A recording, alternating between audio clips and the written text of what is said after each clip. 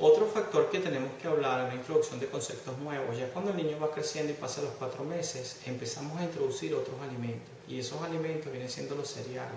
la primera etapa es cereales fortificados con hierro, después vienen los vegetales verde y amarillo y, y subsecuentemente este, los frutos. los cereales se introducen a los cuatro meses que sean siempre fortificadas con hierro, porque el bebé sufre una anemia fisiológica y ese aumento de hierro nos ayuda a que el niño no sufra tanta anemia. Pero una vez, eso empieza a los cuatro meses, a los cinco meses se deberían introducir los vegetales verdes y amarillos y el sexto mes las, este, los, frutas, que son los dulces. Y de esa manera se va introduciendo los diferentes alimentos sólidos en el bebé. Pero ¿qué sucede? Muchas veces sucede que cuando uno introduce los cereales, el cereal debe ser calculado exactamente como estuviéramos calculando la fórmula del bebé y no y evitar la tentación de que cuando el bebé esté comiendo leche, por ejemplo, entonces le toca cereal, entonces le damos el cereal y se lo bajamos con la misma cantidad de leche. Cuando hacemos eso, hacemos un doble, una comida doble. El niño come dos veces. El exceso de volumen es muy grande en el estómago, induce reflujo y el niño empieza a vomitar. Entonces es importante saber que cuando vamos a introducir cereales, comidas de bebé, sean vegetales o frutas, si el volumen está muy cerca del volumen de alimentación del niño, no debemos dar doble comida.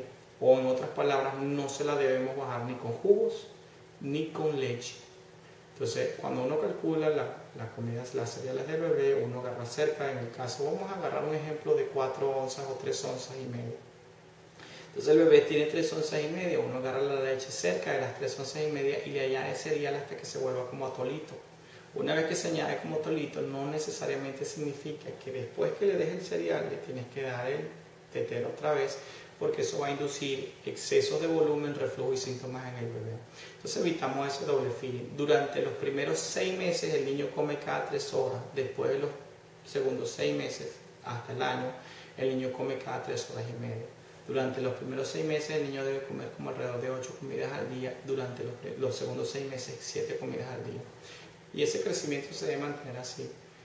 la primera introducción de los cereales debe ser aproximadamente una sustitución de un tetero, de una a dos sustituciones por tetero durante los primeros seis meses y ya para el final del año aproximadamente mitad y mitad. Si son siete, son cuatro teteros, tres comidas sólidas o viceversa, cuatro comidas sólidas y tres teteros. No necesariamente tenemos que hacer que el niño esté comiendo cereal, tomando fórmula y bajándosela con jugo porque inducimos reflujo.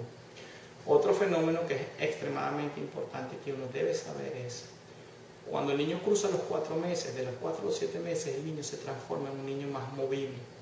Como consecuencia, todo niño normal, y normalmente va a suceder así, va a inducir mayor cantidad de reflujo y regurgitaciones, conocidos como aspirado, que la leche se le viene por la boquita o inclusive vómito. Y eso es característico de que el niño incrementa la presión, la presión abdominal al tratar de sentarse, al tratar de sentarse, el aumento de la presión intraabdominal induce reflujo, o cuando se voltea y empieza a torcerse de lado a lado. Cuando eso sucede, si el niño acaba de comer y no es un problema, simplemente se caracteriza porque este, aumenta la presión intragástrica y produce reflujo. Una de las maneras como le evitamos cuando el niño cumple, cumple los cuatro meses es la introducción de los cereales, como mencionamos, o ocasionalmente, u ocasionalmente introducimos cereales en todos los teteros. Este, ahorita revisamos más adelante la cantidad de cereales que debería tomar el bebé. Cuando introducimos los cereales, las concentraciones que se utilizan para introducir el cereal, si el niño vomita, son dos tipos de cereales que se utilizan, o dos educaciones diferentes. Si el niño vomita y lo utilizamos por concepto de reflujo, el cereal puede ser introducido durante las primeras semanas, inclusive los primeros días de vida. Y se utiliza en todos los teteros sin falta. Es muy importante saber que estamos utilizando cereal por reflujo versus el, cereal porque el niño tiene que aprender a comer con cucharita o lo queremos fortificar con hierro, que eso ocurre después de los cuatro meses. Entonces, el cereal puede ser introducido muy temprano, los primeros días de nacido, cuando tiene reflujo, y formalmente ya a los cuatro meses cuando el niño hay fortificación con hierro. Es importante saber ese detalle porque muchas recomendaciones de familiares o inclusive de, de servicios sociales, cuando introducen los cereales o le regalan los cereales a, los familiares, mencionan que el bebé no debe tomar cereales cuando son cuatro meses, pero si se utiliza por concepto de reflujo, está perfectamente indicado la introducción de cereal, especialmente el cereal de arroz durante las primeras semanas de vida.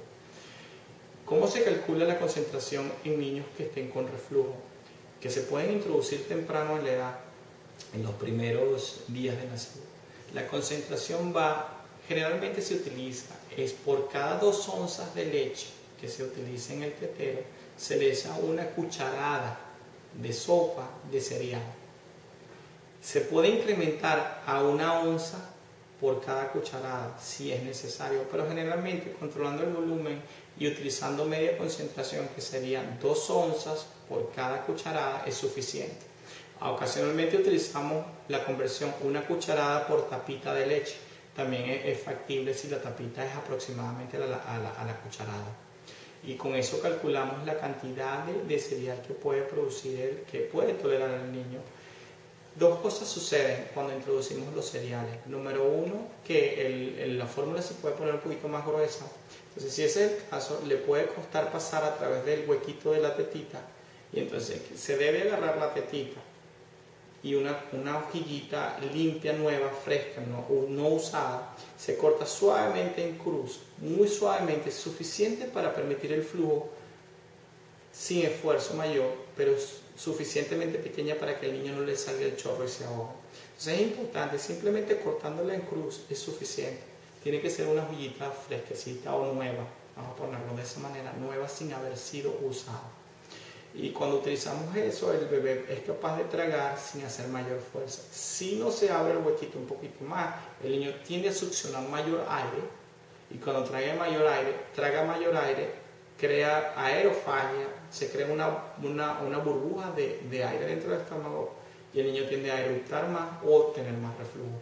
Entonces es importante siempre balancear la cantidad de de, aire que puede entrar al niño al tratar de succionar si la apertura de la tetita no es suficiente. La concentración que se utiliza para los cereales, como mencioné al principio, se agarra la cantidad cerca de la leche en, una tacita y la cantidad de la leche que calculamos anteriormente como valor inferior, que eran 2.5 onzas, para ser exacto en el valor anterior, o 3.5 onzas y se le añade cereal hasta que se vuelva atolito y ese atolito se da con cucharita. Eso pasa después de los cuatro meses y es para facilitar la fortificación de hierro y, prevenir anemias en el bebé. Es importante saber que todo, toda persona que esté envuelta en el cuidado del bebé debe y tiene que mantener perfecto conocimiento de la cantidad de leche que debe comer el bebé y la frecuencia que debe comer el bebé. Pues muchas veces nos conseguimos, educamos a los padres adecuadamente, pero de repente la abuela o la tía no sabe y el niño cuando lo están cuidando ellos me presenta otra vez vómito. Muchas veces es falta de nosotros mencionar como familiares a los que nos van a ayudar a cuidar, pero es importante tanto para el cuidado diario, para las tías, para las abuelas o para cualquier otra persona que esté en el cuidado del bebé, exactamente cuánto debe comer y la frecuencia a la hora que le toca. Preveniendo estos detallitos de, educación, el niño mejora mucho y se siente mucho más este, cómodo durante el primer año.